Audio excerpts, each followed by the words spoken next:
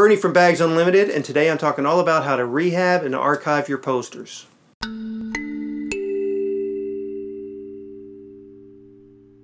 going to attack, there's this big black smudge, I don't know. I don't know what that's from. It's not coming off on my hands. So we're going to see if we can't attack that. The First thing I'm going to try to get rid of this um, dark spot on the poster is Absorene. This is designed to remove dirt and grime from paper. Absorene's a putty. It's almost like modeling clay. Um, you gotta just dig into it a little bit. Pull some out, looks like that. You wanna knead it and get it working. You wanna get it so that it's pliable. You need to work it a little bit in your hands until it's a little soft and pliable like that, okay? Then you kind of use it like an eraser, but you want to try and go all in one direction.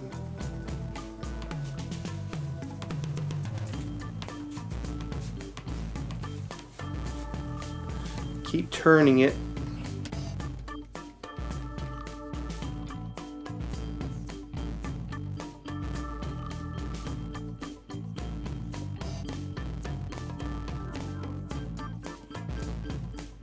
And you want to keep folding sort of the dirt into it as you go.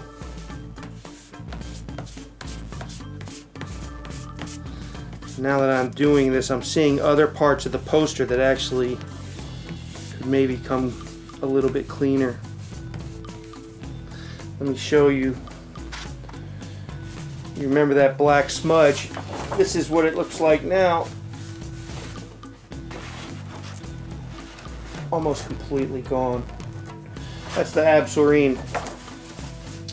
The next product I want to show you, which is great for cleaning paper and will go ahead and help to pick up some of the dirt that uh, the Absorene didn't finish, is this dry cleaning pad. This is the same type of pad that architects and designers, draftsmen use. It's a cloth sack kind of coarsely woven. Inside the cloth, cloth sack is shredded rubber, the same stuff that they use for erasers. What you want to do, go ahead and knead the sack and you'll get this fine dusting of eraser. And then you just use the bag and start cleaning your poster.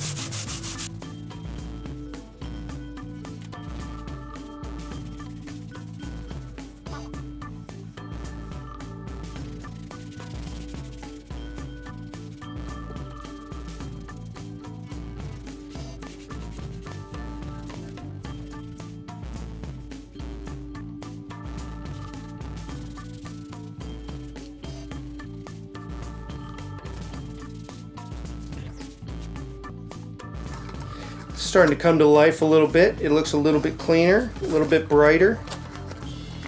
For everything you've seen here and anything else you need to protect, organize, and store your posters, photographs, or any other paper, go to www.bagsunlimited.com. I'm Bernie. Thanks for watching.